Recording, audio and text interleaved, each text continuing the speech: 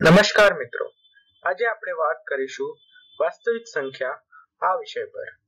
વાસ્તવિક સંખ્યા એટલે અંગ્રેજીમાં રિયલ નંબર્સ તો ચલો હવે આગળ વધીએ. પ્રસ્તુત છે સંખ્યા અધિક્રમ. સંખ્યા અધિક્રમમાં મૂળ છે વાસ્તવિક સંખ્યા, એટલે જ રિયલ નંબર્સ વાસ્તવિક સંખ્યાના બે ભાગ છે.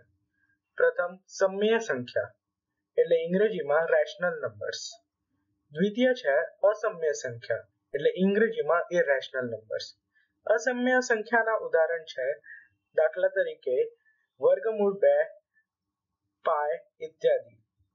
સમ્ય સંખ્યામાં આવે છે અપૂર્ણાંક સંખ્યા અને પૂર્ણાંક સંખ્યા. અપૂર્ણાંક સંખ્યા એટલે અંગ્રેજીમાં ફ્રેક્શન્સ જેમ કે વન બાય ટુ અથવા વન ભાગ્યા બે ઇત્યાદિ. અને બીજો ભાગ છે પૂર્ણાંક સંખ્યા, એટલે અંગ્રેજીમાં ઇન્ટીજર્સ કહેવાય છે. પૂર્ણાંક સંખ્યામાં પણ બે ભાગ આવે છે. પ્રથમ છે પૂર્ણ સંખ્યા, એટલે હોલ નંબર્સ હોલ નંબર અથવા પૂર્ણ સંખ્યામાં શૂન્ય અને પ્રાકૃતિક પ્રાકૃતિક સંખ્યા ગણાય છે. પ્રાકૃતિક સંખ્યા, એટલે એક, બે, ત્રણ, ચાર અને એના આગળની અસંખ્ય સંખ્યા. અને અને બીજો ભાગ છે ઋણ પૂર્ણાંક સંખ્યા, એટલે નેગેટિવ ઇન્ટીજર્સ જેમ કે માઇનસ વન માઇનસ ટુ ઇત્યાદિ. તો ચલો, હવે વાસ્તવિક સંખ્યાના સંદર્ભમાં કંઈ જાણીએ. પ્રથમ, સમય સંખ્યા એટલે શું? સમય સંખ્યા એટલે p ભાગ્યા q પ્રકાર, એટલે p q પ્રકાર. જ્યાં p કોઈ પણ પૂર્ણાંક સંખ્યા એટલે ઇન્ટીજર હોઈ શકે છે. અને ક્યુ અથવા ભાજક કોઈ પણ પૂર્ણ સંખ્યા હોઈ શકે છે. એટલે ક્યુ ઘન પૂર્ણાંક સંખ્યા છે. ઉદાહરણ તરીકે આપેલ છે ત્રણ ભાગ્યા પાંચ અથવા ઋણ છ ભાગ્યા સાત અથવા શૂન્ય બે. એટલે જ સર્વ પૂર્ણાંક સંખ્યા અને પૂર્ણ સંખ્યા પણ સમય સંખ્યા કહેવાય. જે પણ સંખ્યા સમ્ય સંખ્યા ન હોય, એને અસમ્ય સંખ્યા કહેવાય છે. ઉદાહરણ તરીકે, વર્ગમૂળ બે, વર્ગમૂળ ત્રણ, પાય વગેરે. એટલે જ જે પણ સંખ્યા આપણે પી પી અપોન ક્યુ અથવા પી ભાગે ક્યુ પ્રકારમાં ના લખી શકીએ, એને અસમ્ય સંખ્યા કહેવાય છે. વાસ્તવિક સંખ્યા સમય સંખ્યા અને અસમ્ય સંખ્યાનું મિશ્રણ છે. એટલે વાસ્તવિક સંખ્યા સમ્ય અને અસમ્ય સંખ્યાનું કોમ્બિનેશન કહેવાય છે અથવા યુનિયન કહેવાય છે. ચલો, હવે શીખીએ સમય સંખ્યાનું સંખ્યા રેખા પર નિરૂપણ. દાખલા તરીકે આપણાને ત્રણ ભાગ્યા આઠનું નિરૂપણ કરવું છે સમય સંખ્યા રેખા પર. પ્રથમ એક સમય સંખ્યા રેખા દોરીએ. એના પર શૂન્યથી એક ના વચ્ચે આઠ ભાગ કરી દઈએ. જેમ કે હરેક ભાગની લંબાઈ એક ભાગ્યા આઠ હશે. તો આપણી સમય સંખ્યા એટલે ત્રણ ભાગ્યા આઠનું નિરૂપણ કરવા માટે આપણને ત્રણ ભાગ છોડવા પડશે. તો આ એક, આ બે, આ ત્રણ. તો આ છે આપણી જોવતી સમય સંખ્યાનું નિરૂપણ. તો ચલો, હવે આપણે શીખીએ અસમ્ય સંખ્યાનું સંખ્યા રેખા પર નિરૂપણ. આ નિરૂપણની રીતમાં આપણે પાયથાગોરસના પ્રમેયનો ઉપયોગ કરીશું. હવે એક ઉદાહરણ લઈએ, જેમ કે વર્ગમૂળ બે. તો હવે આ આકૃતિમાં જોઈએ તો આમાં એક ત્રિકોણ બનાવેલ છે, જેની બે બાજુઓ એક એક લંબાઈની છે. એટલે a બરાબર એક છે અને b પણ એકના બરાબર છે. તો પાયથાગોરસના પ્રમેયના હિસાબે c square is equal to a square plus b square એટલે c સ્ક્વેર બરાબર બે. એટલે c બરાબર વર્ગમૂળ બે. એટલે રૂટ ટુ એટલે c ની લંબાઈ રૂટ ટુ જેટલી થઈ જશે. હવે રૂટ ટુ નું સંખ્યા રેખા પર નિરૂપણ કરવા માટે આપણે o ને, આપણે o ને કેન્દ્ર લઈને OQ ને ત્રિજ્યા લઈને એક ચાપ બનાવીશું. એટલે એક આર્ક બનાવીશું. જે સંખ્યા રેખા પર p પર છેદતું હશે. એટલે OP આપણા રૂટ ના બરાબર થઈ જશે. એટલે પી બિંદુ એ વર્ગમૂળ બે અથવા રૂટનું નિરૂપણ કરશે. તો આ રીતે આપણે રૂટ આ અસમ્ય સંખ્યાનું નિરૂપણ કરી શકાય છે. એવી જ રીતે આપણે બાકી બધી અસમ્ય સંખ્યાનું પણ નિરૂપણ કરી શકીએ છીએ. જેમ કે આપણે લઈએ રૂટ થ્રી. તો હવે આપણે જોઈએ ડાબી આકૃતિમાં. આ આકૃતિમાં થ્રી દર્શાવવા માટે આપણે ઓપી અને પીસી આ બાજુઓનો ઉપયોગ કરીશું. જ્યાં ઓપી છે રૂટ ટુ અને પીસી છે એક.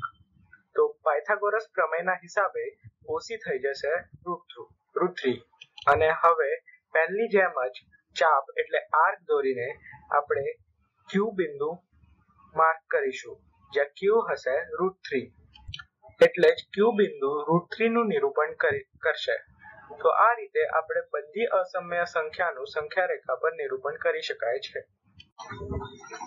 ચલો, હવે જોઈએ આપણે દશાંશ અભિવ્યક્તિ એટલે જ ડેસિમલ રિપ્રેઝન્ટેશન પ્રથમ છે સમય સંખ્યા સમ્ય સંખ્યાનું દશાંશ અભિવ્યક્તિ એટલે ડેસિમલ રિપ્રેઝેન્ટેશન ક્યારે પણ શાંત એટલે અંગ્રેજીમાં ટર્મિનેટિંગ અથવા અનંત આવૃત્ત. એટલે નોન ટર્મિનેટિંગ એન્ડ રિકરિંગ હોય છે. જેમ કે ઉદાહરણમાં આપેલ છે, પ્રથમ ઉદાહરણ, ઉદાહરણમાં સાત ભાગ્યા આઠમાં સમ્ય સંખ્યાનું દશાંશ અભિવ્યક્તિ શાંત છે.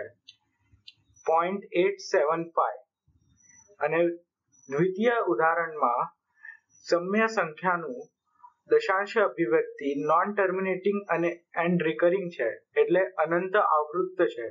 જેમાં આ ભાગ આવૃત્ત છે. અસમ્ય સંખ્યા એટલે ઇરેશનલ નંબર્સનું દશાંશ અભિવ્યક્તિ ક્યારે પણ અનંત આવૃત્ત, અનાવૃત્ત હોય છે. એટલે non terminating and non recurring હોય છે. જેમ કે ઉદાહરણમાં આપેલ છે વર્ગમૂળ બે અથવા પાયનું.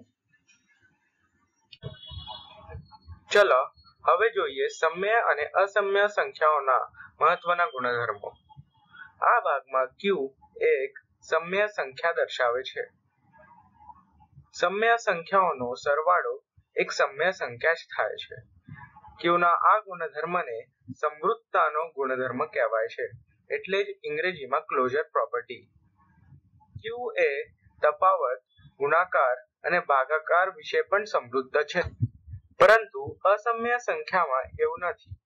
અસમ્ય સંખ્યાઓનો સરવાળો તફાવત ગુણાંકફળ ભાગફળ અસમ્ય સંખ્યા જ હોય એવું જરૂરી નથી.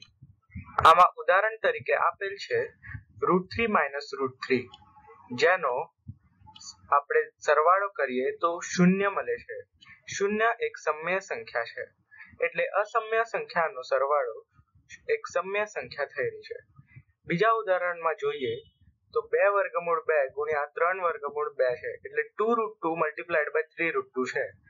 આનો ગુણાકાર બાર થાય છે, જે એક સમય સંખ્યા છે. એટલે આ આ ગુણાકારમાં રૂટ ટુ ગુણ્યા રૂટ ટુ એક સમ્ય સંખ્યા બે મળી આવે છે. એટલે આનો ઉત્તર એક સમય સંખ્યા મળે છે. તો આ આપણા ઉપરની વાતને સિદ્ધ કરે છે. તો ચલો હવે આપણે એક પ્રશ્ન સોડવીએ. પ્રશ્ન છે, સાદું રૂપ આપો. એમાં પ્રશ્ન છે, વર્ગમૂળ અઢાર તફાવત વર્ગમૂળ પાંચ આ ગુણ્યા વર્ગમૂળ બે તફાવત વર્ગમૂળ પંદર. એટલે root eighteen minus root five multiplied by root two minus root fifteen આના પ્રથમ સ્ટેપમાં આપણે વિભાજનનો ગુણધર્મ લગાવીશું. એટલે ડિસ્ટ્રીબ્યુટિવ લો જેનાથી આપણને આ મળે છે. હવે, બીજા સ્ટેપમાં આપણે બધાના ગુણાકાર લખી કરીને લખીશું. એટલે વર્ગમૂળ અઢાર ગુણ્યા વર્ગમૂળ બે થાય છે વર્ગમૂળ છત્રીસ. એમ જ વર્ગમૂળ અઢાર ગુણ્યા વર્ગમૂળ પંદર થાય છે વર્ગમૂળ બસો સિત્તેર. ઇત્યાદિ. હવે, જે જે જે જે સમય સંખ્યા આપણે વર્ગમૂળમાંથી બહાર કાઢી શકાય, એને આપણે બહાર કાઢીને લખીશું. જેમ કે, રૂટ રૂટ થર્ટી સિક્સ ને આપણે લખી શકાય છે છ.